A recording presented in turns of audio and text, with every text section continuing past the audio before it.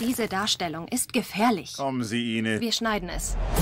Während Großbritannien von einer Welle verdorbener und korrupter Horrorvideos überrollt wird, besteht die Gefahr, Fiktion und Realität zu verwechseln. Hat Ihnen das nicht zugesetzt? Einige dieser Szenen waren so übertrieben. Ich tue es, um Menschen zu beschützen. Vielleicht könnte Enid meinen neuesten Frederick North-Film ansehen. Er ist im Archiv, er ist harmlos, ich verspreche es.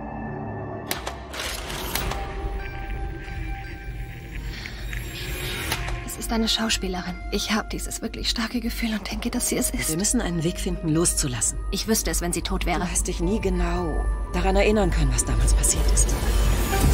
Könnte vielleicht ein simples Trauma sein. Sie wären überrascht, was das menschliche Gehirn alles ausblendet, wenn es die Wahrheit nicht erträgt. Das ist komplett hysterisch. Vielleicht können Sie mir helfen. Ich bin auf der Suche nach Filmen von Frederick North.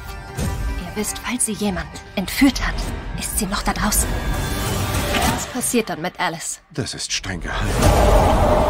Die Leute denken, dass ich den Horror erschaffe. Das Grauen ist bereits da draußen.